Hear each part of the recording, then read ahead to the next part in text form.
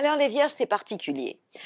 Vous allez d'un côté être aidé par la planète Uranus, euh, donc la planète de l'imprévu, de l'inattendu, euh, de l'avant-gardisme dans le signe du taureau qui est un signe ami, donc qui va être en bon aspect avec euh, la maison neuve chez vous, le sens que vous donnez à votre vie, donc vous allez avoir besoin de redonner du sens à votre vie. Vous allez être aidé par Saturne et Pluton en Capricorne, toujours en bon aspect, euh, donc une envie de consolider les acquis sur le plan familial, puisque ce sera dans le secteur de l'affectif, de l'amour. Mais le grand mais chez vous, le bémol, c'est Jupiter en Sagittaire qui va pas vous porter chance. Donc ça peut être un peu plus compliqué, et ce sera dans le secteur euh, de la maison 4, c'est-à-dire la famille. Pour le premier décan, eh bien, euh, à partir du 7 mars, Uranus va, va rentrer dans le signe du taureau, donc va vous faire le plus grand bien. Vous allez avoir envie de changer plein de choses.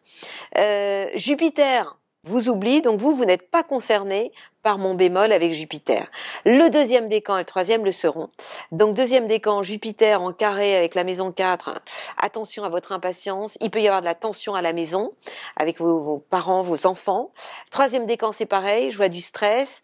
Euh, donc euh, essayez d'arrondir les angles. Sur le plan professionnel, pour toutes les signes de la Vierge, tout va s'accélérer. Vous allez avoir des projets plus ambitieux. Et la bonne nouvelle, c'est qu'en décembre, je sais, c'est loin, euh, décembre de l'année prochaine, 2019, à partir du 3 décembre, la planète Jupiter, la chance, rentre dans le signe du Capricorne. Donc, je l'ai déjà dit, les signes de terre vont être très heureux. Et, euh, pour vous, ce sera un très bon aspect avec la maison 5, l'amour, la créativité des enfants.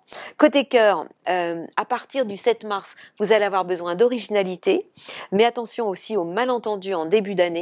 Et pour garder le sourire, eh j'irai aux vierges de lâcher les tensions. Euh, soignez-vous au niveau de vos pensées quelquefois euh, toxiques à votre côté mental qui n'arrête pas de cogiter et essayez de vous exprimer plus clairement en y mettant les formes. Alors je dirais que de toute façon, quel que soit votre signe, euh, vous savez très bien que les bonnes ondes sont contaminantes, contagieuses. Donc soyez contagieux. Comment? Eh bien en ayant un peu plus de bonne humeur, de joie de vivre. Un sourire ouvre toutes les portes. Et plus vous serez souriant, et plus vous avez de chance finalement de transformer une année quelquefois un peu compliquée en une année euh, d'ouverture, de remise en question pour évoluer. Parce que l'intérêt de notre vie, si on est sur Terre, c'est quand même pour grandir et pour avoir un niveau de conscience toujours un peu plus élevé. Voilà, et je vous souhaite une belle année à vous tous.